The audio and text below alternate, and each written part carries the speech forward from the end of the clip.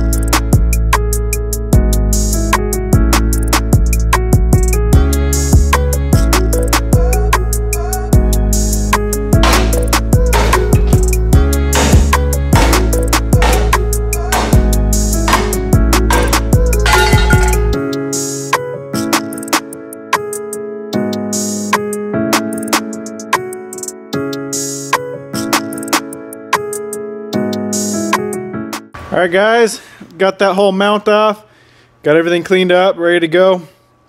So I think what I'm gonna try to do is use this black back plate that's already bolted on the block. I'll cut these sides off since that's already, you know, formed. I don't really have a good way to bend steel. So I think the best the best way would be to just cut that off, use that, and then basically remake this part but that's way too high so I need to redo it anyway. So I think that's plan. I'm gonna cut that off get the motor back in and kind of see where everything lines up and I'll make sides for this and then a plate for the bottom for that mount to bolt onto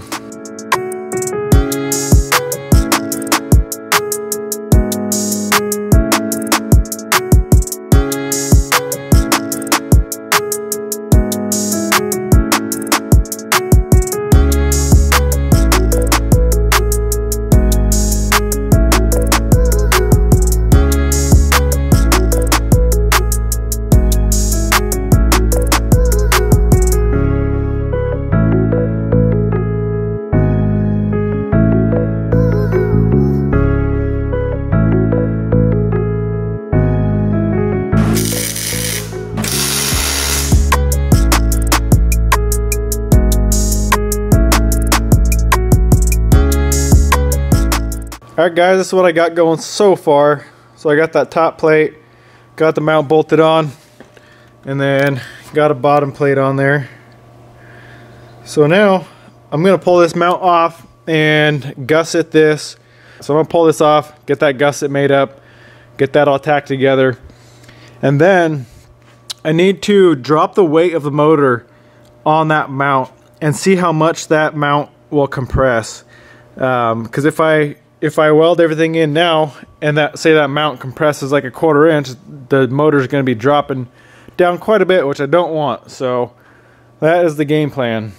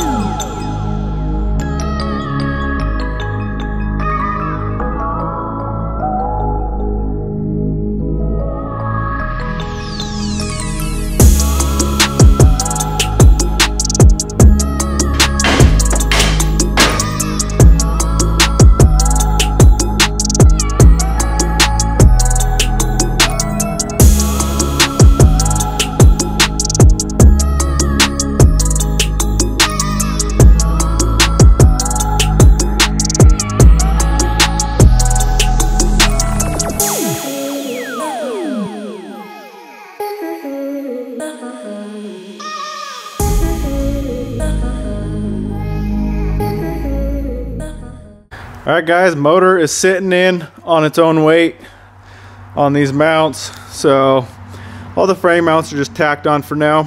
I still got to pull the motor out and fully weld those in. So that's how that that's how that mount looks. And this one, a little more hard to see up in here.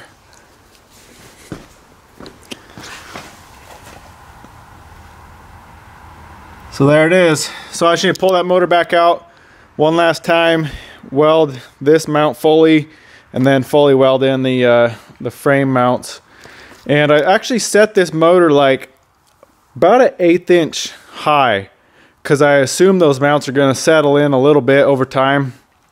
So I hope they don't settle any more than that. Um, but it's just a guess. So if uh, worst comes to worst, I can always shim up a little bit and get that motor back up if it does settle more than that. So yeah, let's get this motor back pulled out. We'll fully weld in these mounts and we will be done.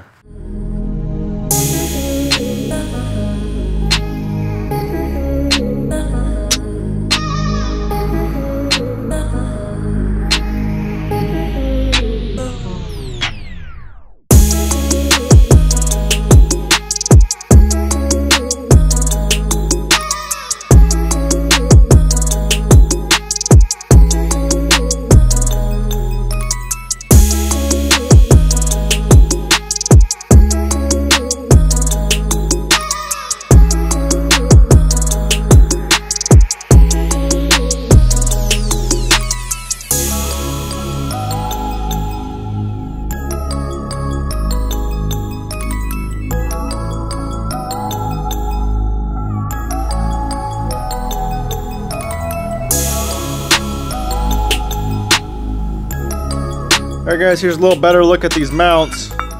These things are pretty freaking beefy, all quarter inch. So, welded on both sides. Definitely aren't going anywhere with this light little motor, so pretty stoked. So I just got to get those powder coated and we'll be done with that. And the last thing we got to do to button this up is remake the little supports off my shock hoop. So I got some uh, one inch round tube might cut some up, weld them in there, and we can throw some paint on this frame and uh, be done with it.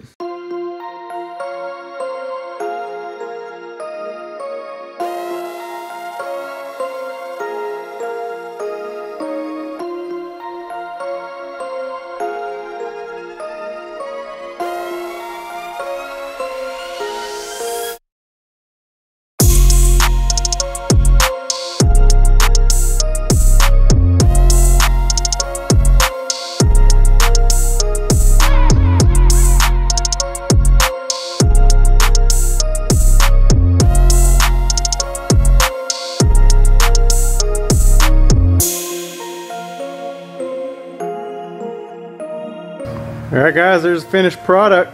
She's all painted up, ready to go. Alright guys, that wraps up this video. Hope you enjoyed it. Next couple videos are to be pretty exciting. We got more powder coating to do. We got to prep this whole engine bay for paint. And I got some cool plans with the paint on it. Um, so stay tuned for that if you are interested in seeing that. Let me know what you guys think about these mounts. I think it turned out pretty sweet. Hopefully those hydraulic mounts will quieten this thing down and uh, cure the vibrations. It really should. Uh, the oil-filled mounts are more designed for diesels the, and the higher vibrations, so should help out quite a bit. I'll have those linked down in the description if you want to check them out. So I'm excited to try those things out. I really hope you guys enjoyed the video. Give it a thumbs up, subscribe, and we'll see you in the next one.